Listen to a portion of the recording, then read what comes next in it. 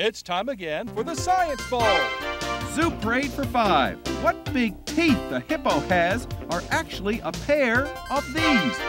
Science potpourri for 10. Would a snake most likely eat every day? Every week, Dateline Science for 10. Why are some elephants wearing necklaces these days? Green things for 15.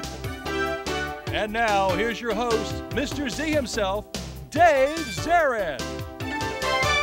Thank you, and welcome to the Science Bowl, the science quiz program here in the Prince George's County Schools, where we test science IQs. Maybe you can improve your own a little bit by listening to wonderful students playing our game today. They hail today from Bladensburg and Mattaponi Elementary Schools as we continue our competition. And this is our 36th year of competition as we head toward the championship round in just a few weeks' time. All of our teams start out with 50 points apiece, no penalties for incorrect answers, six traditional categories from green things to dateline science. Each category, 5, 15, and 25 point questions. One of these two teams will answer more than the other and emerge victorious today. Let's meet that first team, and they hail from Bladensburg Elementary School. Would you please say hello to Justin? Justin waved everybody. He's the captain of the team. He is a sixth grader. This is his third year on the Science Bowl, so he's a veteran. Let's say hello to Zacharias. Hey, Zacharias, also a sixth grader. Nice to have you here, Zacharias. And joining them, last but not least, is Salome, a fifth grader. Hey, Salome, nice to have you on the show today. All right, Bladensburg, if you are ready, let's get started.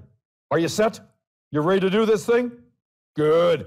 Let's go to the green things category. Three things questions. Three questions for you. Here's the one worth five points. The swabs used to probe your nose for any signs of the coronavirus are topped with the fibers of what plant? The same fibers that you find on top of a Q-tip when you clean your ears. Name that plant that the fibers come from. Um, okay, so I know that it comes from cotton. So what do you guys think? Uh, what, what do you guys think the cotton comes from? Um, That's absolutely right. You got it. Cotton. You got it right at the top. Cotton fibers at the tip of the Q-tip that you use for probing either a nose or an ear. All right. Nice start there. Nice start from your captain there. All right, Justin. Let's go to 15 points in green things. Plants that grow on trellises and other platforms, like grapes, are known as these creeping V initialed kinds of plants. Answer must begin with the letter V, a creeping kind of plant. They grow on trellises, which are platforms. Sometimes you see them up against the side of a house, and they grow against, go up it. Do you guys think it's fiber? No, that's the. Um, Those would be vines. Vines, like grapevines and ivy vines. Okay, let's go to the 25 point question in green things. During the Paleozoic era of geological time, way back, amphibians dominated the earth, along with these kinds of non flowering plants that have leaves called fronds, F R O N D S, and reproduce not by seeds, but by spores. Do you think I might be friends? Say it again. Dustin, do you think might be friends? Um, what I think. I heard. All right, you've, you've heard everybody there. Uh, what would you like to say there, uh, Justin?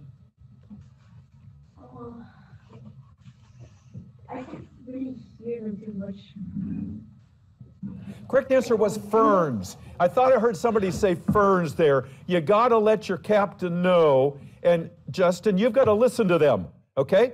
So if there's an answer there that you think is correct, you're the one who has to say it. Okay, let's go on to the zoo. Let's go to the zoo. For five points, this is an interesting question. This largest of the crustaceans is now highly prized by diners and very expensive. You go to a restaurant and order one of these, it's expensive.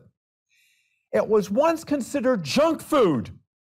and it was fed to prisoners in New England no more than twice a week, since even they demanded something better. Name that largest of crustaceans. When you order it in a restaurant, is very expensive, but at one time was considered junk food in New England. Um, I'm, I'm pretty sure it's lobsters. You got it. Lobster is absolutely right. They wouldn't eat them because they thought they were awful. How about that? And today we're paying high price. All right, let's look at a picture for 15 points in the zoo. Here's your visual. The world's second largest fish, you're looking at it, called the basking shark, is like the largest fish, the whale shark, the owner of a huge mouth, designed to catch as many of these tiny P as in Paul initialed creatures as it can. It's trying to suck up as much of these P initialed creatures as it can. They're tiny. I think it's um. What do I think? I think it's plankton. Yeah, it probably is plankton because whale sharks also eat plankton.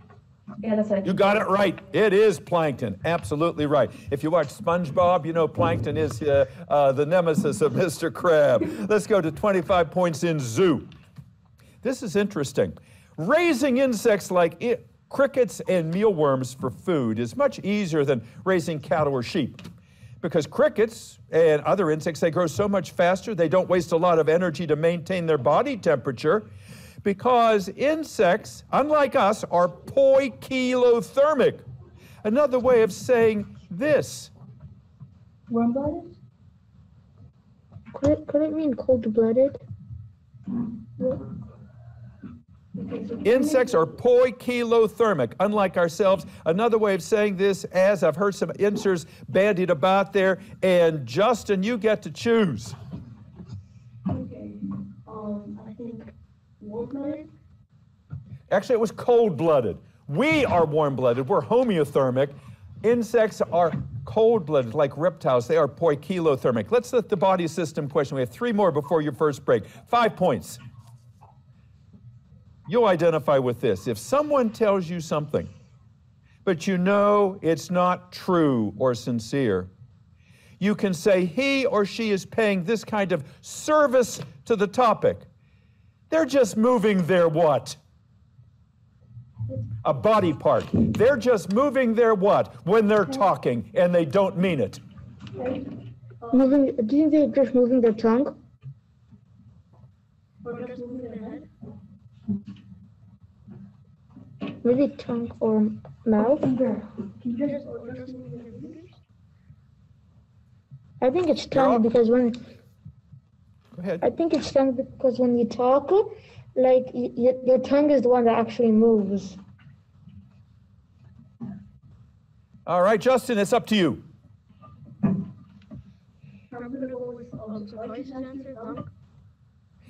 You know, it's called, they're just moving their lips. It's called lip service. Just moving your lips is the phrase. Let's go to 15 points in body systems. There's a television ad that shows a medication for treating exophthalmia. Some people have bulging eyes, bulging eyes. That can result from problems with this T initialed endocrine gland in your neck. Oh. Mm. Maybe throat? What do you think? Uh, It's the Because name I, I of a gland in your neck. So uh, a T initialed gland in our neck. What's a T initialed gland? Hmm. That's the thyroid gland. The thyroid gland. If sometimes if you see that commercial on television, it shows a woman with bulging eyes, but she wears all different kinds of sunglasses, and she keeps taking them off. And uh, there's a medication that can help to reduce that, that the eyes will not be as prominent. Okay, let's get this 25 pointer here to end the first round. This was interesting. There was a medical student recently. She was watching a hockey game, and she noticed on the neck of one of the hockey officials a mole, a mark. She warned him that it might be cancer. Turned out she was right. It was this M initial kind of skin cancer. The man got treatment, his life was saved, and he gave her $10,000 to finish her degree in nursing. She saved his life because she saw that that mark on his neck was what kind of M initial kind of skin cancer? Mm, what do you guys think? What do you think?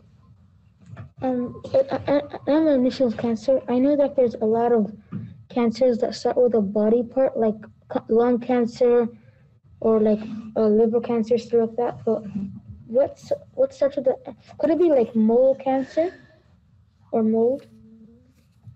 Zacharias, I really like how you're thinking. You're trying to parse all this. You're absolutely right. There are different lung cancers, there's pancreatic cancer, uh, there's brain cancer, skin cancer. The worst kind of skin cancer is called melanoma. Melanoma, and that's what this this hockey official had on his neck. All right, end the first half with 75 points, which means you got lots of points you can still get in the second half here. All right, coach, third year guy up there, talk to your team. We'll be back with you in just a couple minutes. All right, it is now time to meet that team from Mattaponi Elementary School. Would you please say hello to Josh? Hey, Josh, because you waved to everybody at home. Nice to have Josh back. He is a veteran of the show. He's played before, as has Nigel. Hey, Nigel, wave to everybody out there. Another fifth grader, and Ricky is on the team. Hey, Ricky, nice to have you back on the show here.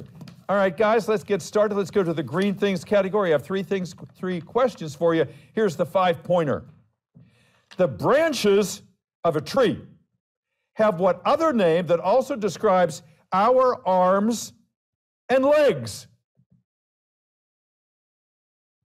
Another name for branches that also describes arm and a leg. Limbs. Say it again. Limbs. Limb is right, yes. L I M B, limb. Yeah, uh, sometimes it's hard to hear exactly, but what you're enunciating there. Good start. Let's go to the 15 point question, and it's a visual, gentlemen. Let's have a look at this picture. You know, uh, water lilies produce flowers that are well above the water level of the pond for good reason. They're living there so that the wind and the insects can perform this process, which can't happen underwater. Pollinate. Pollination is correct. It is pollination, correct. Yes, indeed. Let's do the 25 point question in green things. During the Jurassic period of geological time, we know from the movies that dinosaurs and other reptiles dominated the earth then. Along with the dinosaurs and the other reptiles were these C, as in cat, C initial kinds of trees that includes the pines and the firs and the spruces. Those are all what C initial kinds of trees. It can't be cattle. That's a type of cow. Carbon. Mm, mm, that, that includes coal. Huh? The carbon includes coal. So what do you think?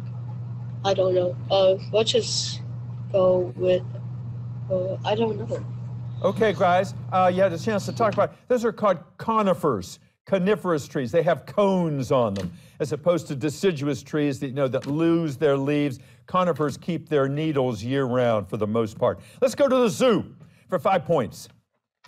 These slow moving mammals that move only about 40 yards a day are hard to see in the treetops because their fur is usually covered with algae.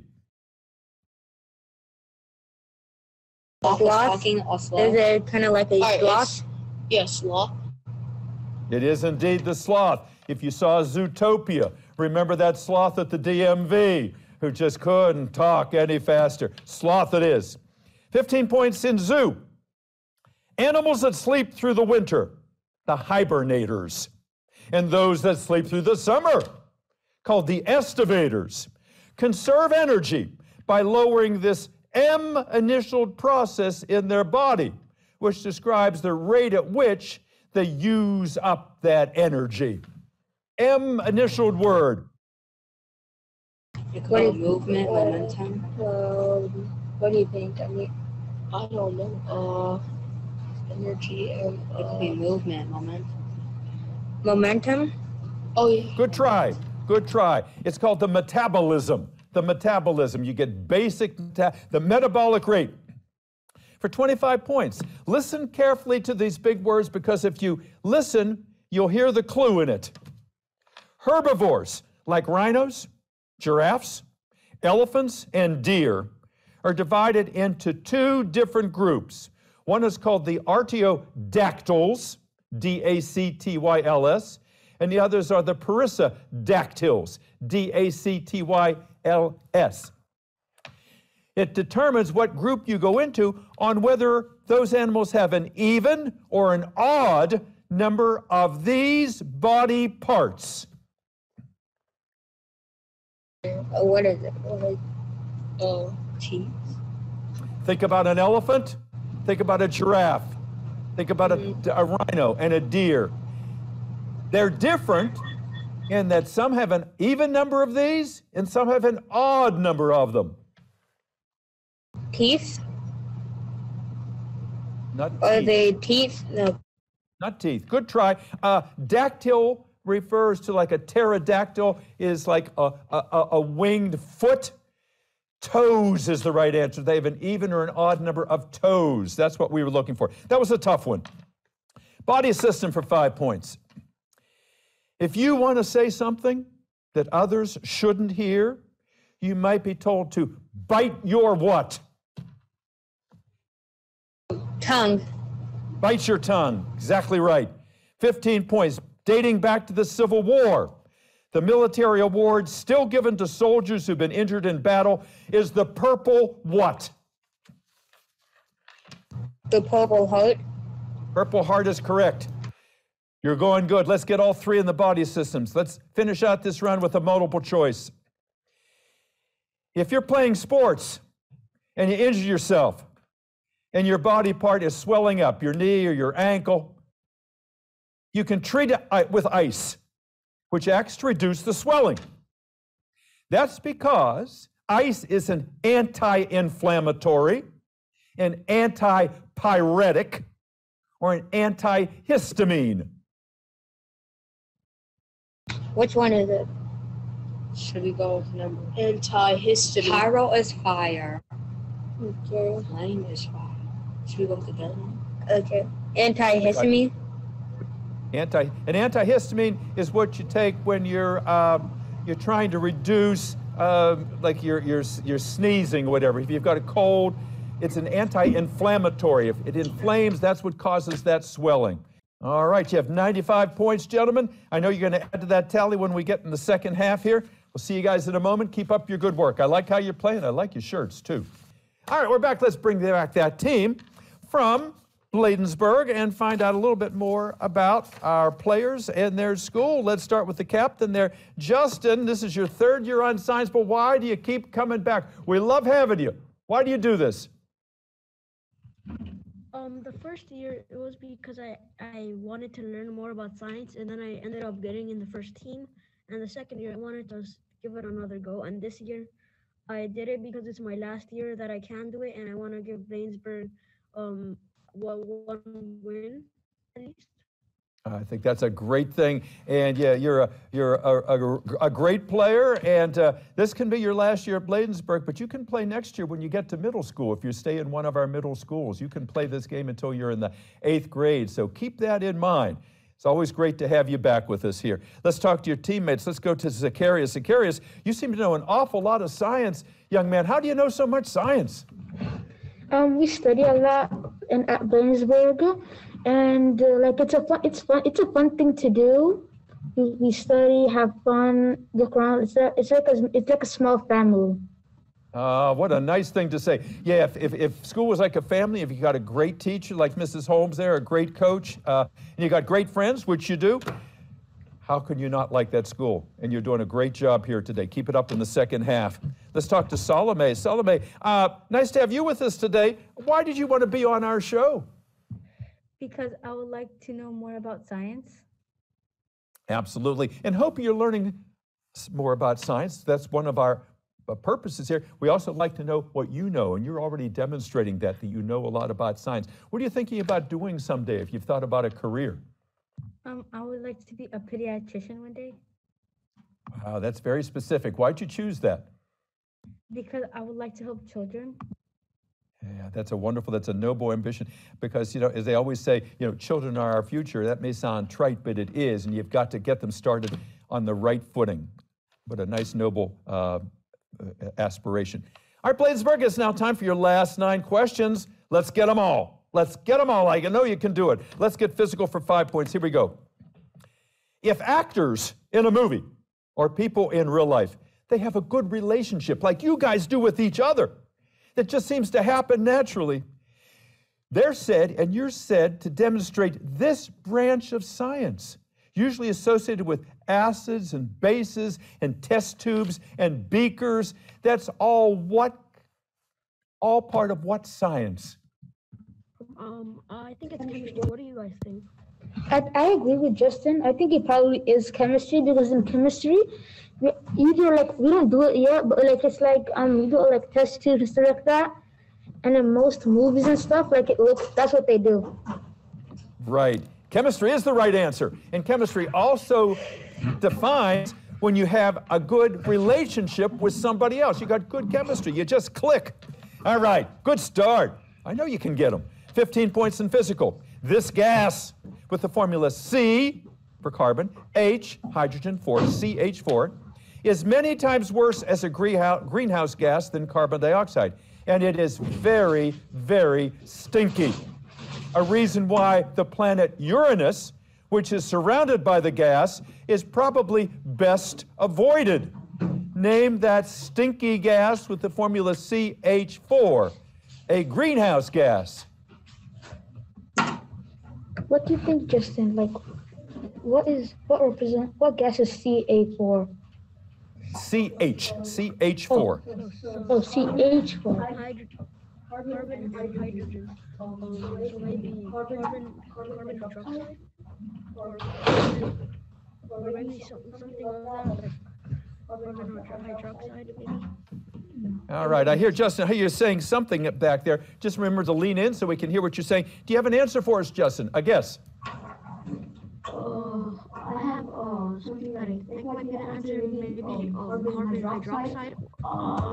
think. Not really, not really. The correct answer is methane. Methane. It's the same stinky gas that comes out of cows and uh, everybody else who releases gas.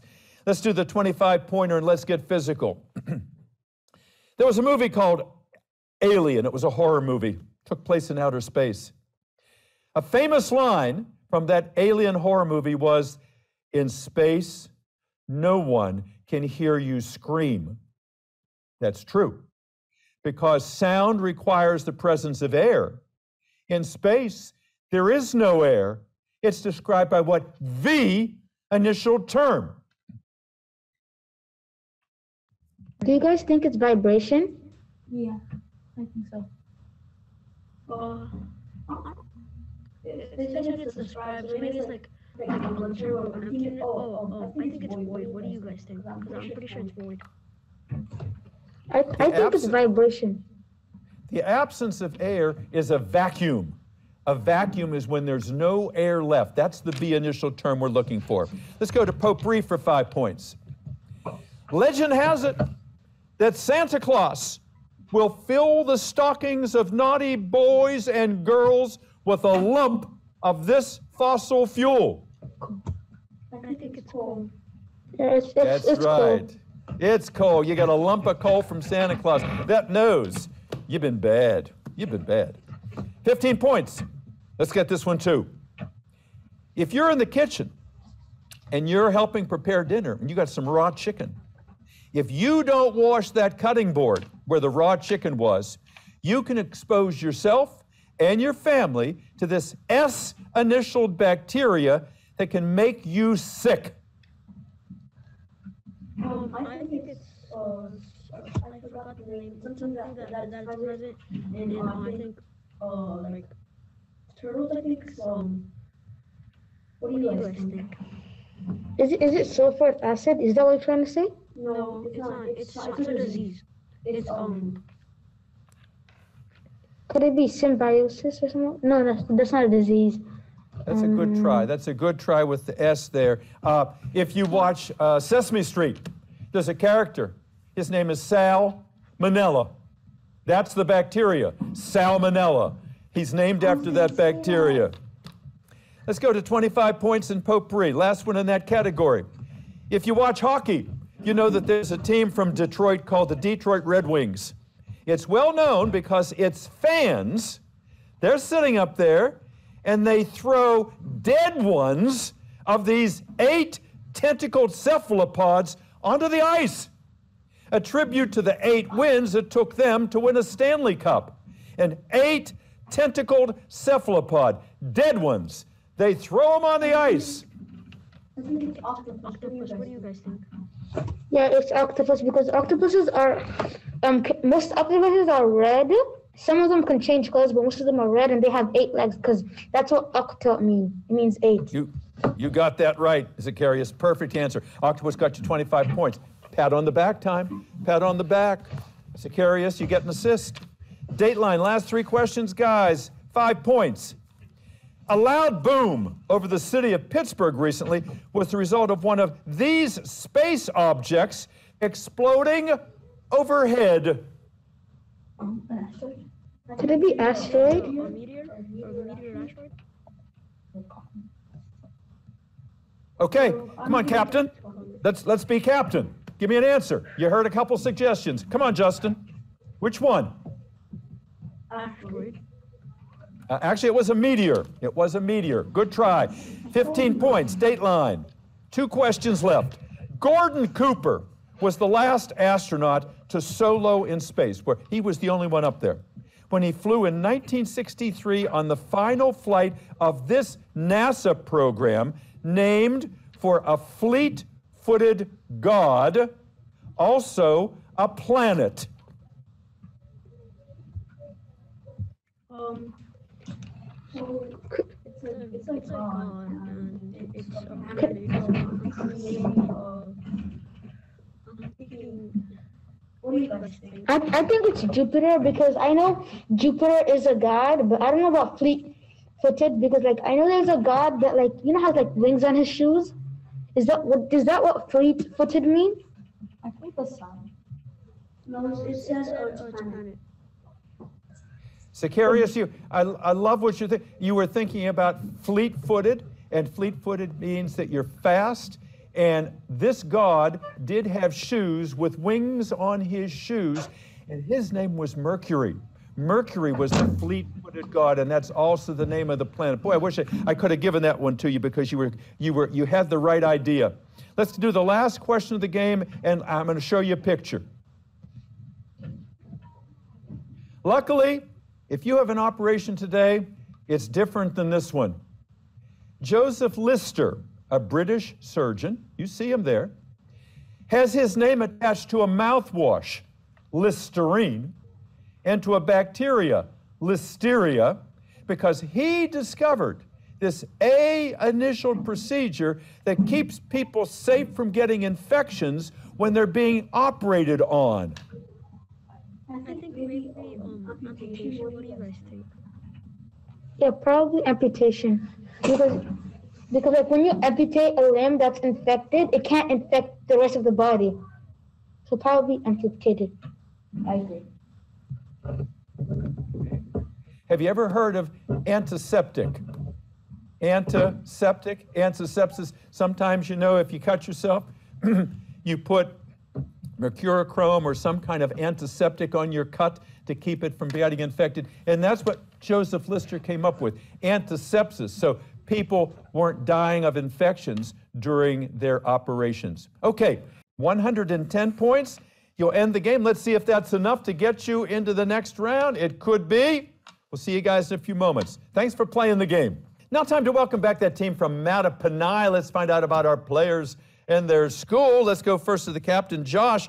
Josh, nice to have you here. You've played this game before. Can I ask why? Uh, why do you come back? We love having you. Why do you do it? Well, I'd love to. And I like science because it makes me feel like I'm a mad scientist.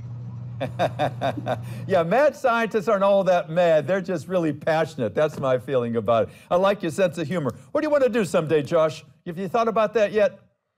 Well, I want to be a YouTuber that does things like do some really cool experiments and sometimes game. Yeah, be a, a star on YouTube. There's a lot of competition out there, but you know, you know, they say if you build a better mousetrap, the world will beat a path to your door. You put a nice video up there and uh, you can get eyes on there. You're doing a nice job. Keep it up in the second half here. Let's talk to Nigel. Hey, Nigel, good to have you here today. Tell me uh, about Mattaponi, Nigel. What's the best thing about going to school at Mattaponi? Probably the best thing about going to like the school at Mattaponi is probably the teachers and like your friends, most definitely. Boy, that's I couldn't have said it better myself. You know, obviously you need caring teachers, but you got to have friends there. You got to have some BFFs, some people that you can share things with, which is why it's great you're all back in school. Even though you're masked, you want to be around your friends again. Let me ask you what I asked your your captain there. What do you want to do someday? I want to be an interior designer. Wow. All right. So you're going to be a very creative person. Yeah always find a creative outlet outlet in life. And boy, if it's if your job and they pay you for it, all the better. Good luck in the second half. Nice to have you back with us again. And Ricky, nice to have you back too. Tell us the Ricky story. What do you like to do in your spare time? Uh, I don't know. I like to do a lot of things, but uh, I really like doing different science experiments and stuff like that. Great. Have to ask you about your Science Bowl shirts. Do you guys get to keep those? Oh, yes.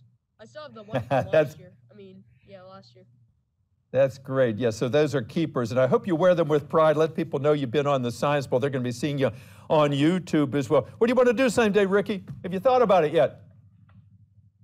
I have no clue. I keep on like thinking I want to be one thing, then change my mind. I it's undecided.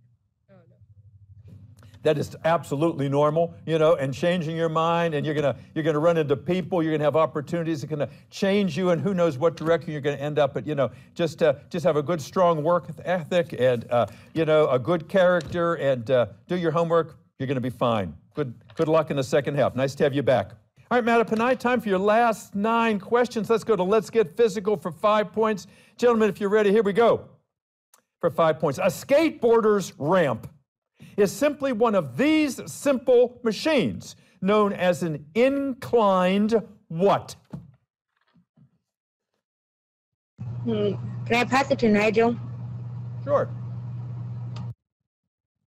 What simple machine is an a skateboarder's ramp? It is an inclined what? Ramp? No, I always use I use that in the, the question. It's called an inclined plane. An inclined plane. That's what a ramp is. For 15 points. This is an interesting question.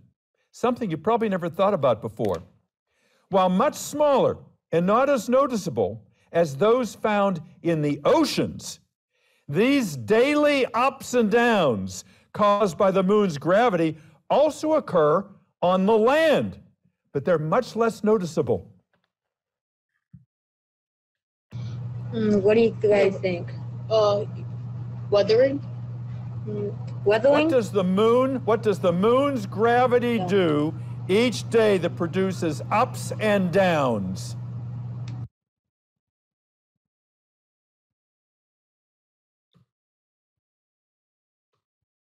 Unmute yourself so we can hear what you're saying to each other. Uh, what is it? I don't.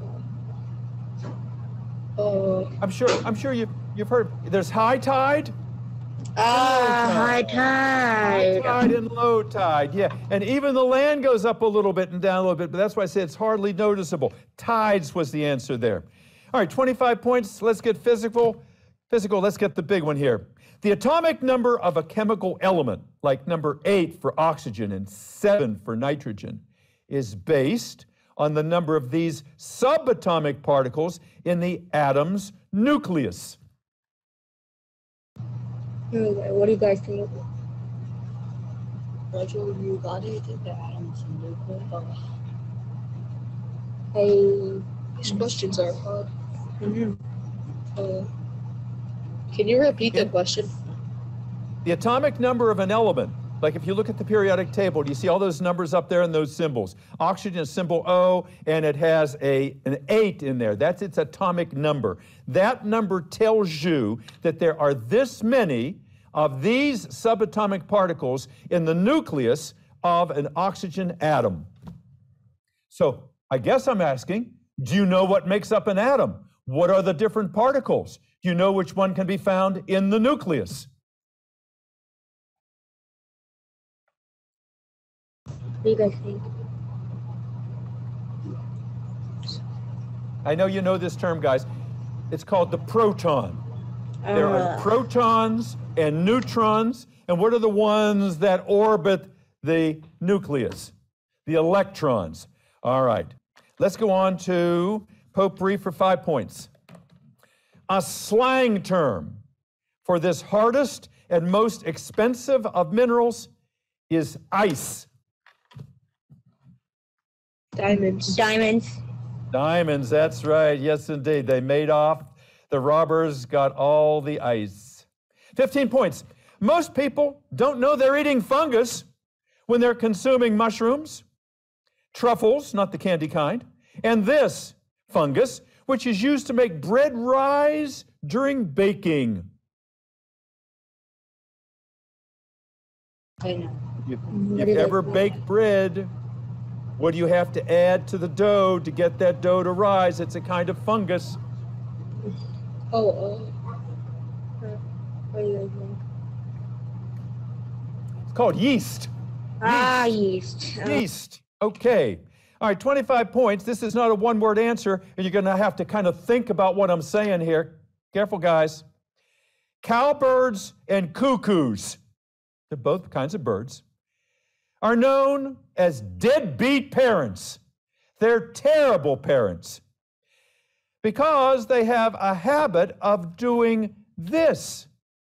They're called brood parasites because what do they do which makes them such terrible parents?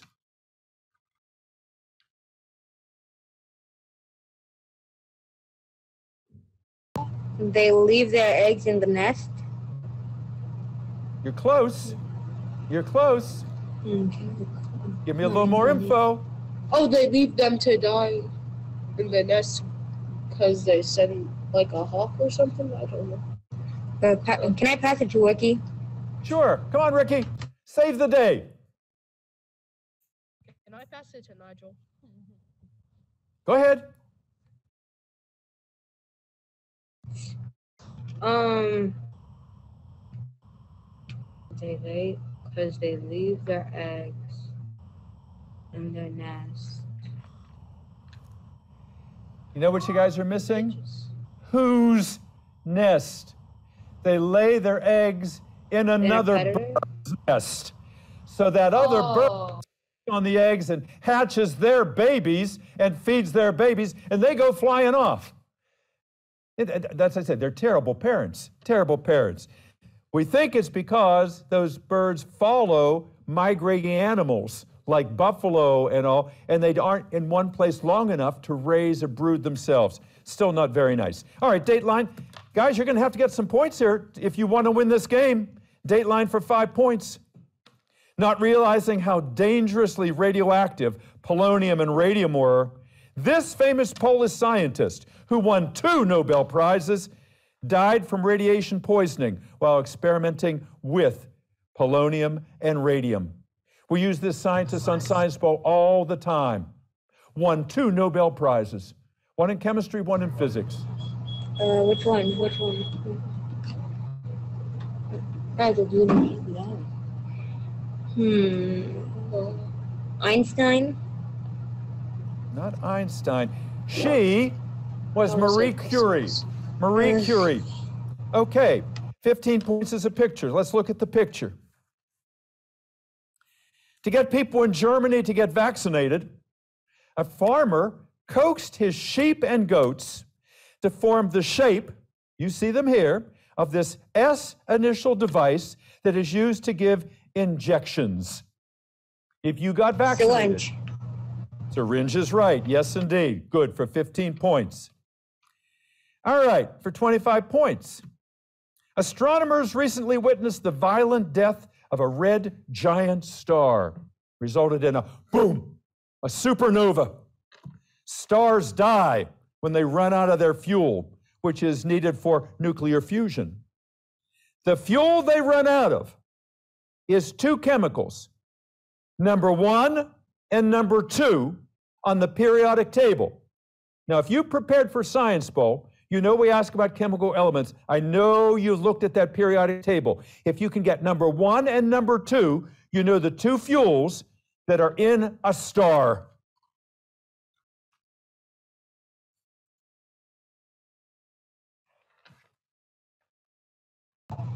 Unmute Alright, uh. Hear you. Uh, oxygen and nitrogen. Hydrogen and helium were the right answers there. Hydrogen and helium. 115 points. All right, we'll see if that does it for you. We'll see you all with everybody in just a few moments. Okay, everybody is back. We've got principals out there, Principal Judith Houghton Williams. Uh, I don't know if uh, Mr. Green is out there from uh, Mattaponi, Mrs. Coleman Warren, and Mrs. Holmes. And we have lots of alternates out there. If you're an alternate, can you wave to us, please? Anybody who's an alternate. Nice to have you here. You're an important part of this game as well. All right. We had uh, some tough questions today, and all of you played a nice game. And I liked how you thought and shared ideas, and a lot of times you were connecting dots, and sometimes you came very close. And that's important. That's what scientists do. They form hypotheses, they make mistakes, and they get better and better each time. Our final tally today is Bladensburg 110, Mattaponi 115. So by five points, Mattaponi, congratulations. We will see you this afternoon, and you're going to be playing uh, Phyllis E. Williams for a chance to move on to the semifinals. And we thank all of you. We hope you had some fun, and hope you brought some uh, some experience because I know some of you have been here with us before. If you're going on to middle school, come back and play with us again. We'd love to see you. Thanks, everybody. Thank you for watching Science Bowl and hope you'll tune in again next time. Until then, I'm Dave Zeri. Bye bye.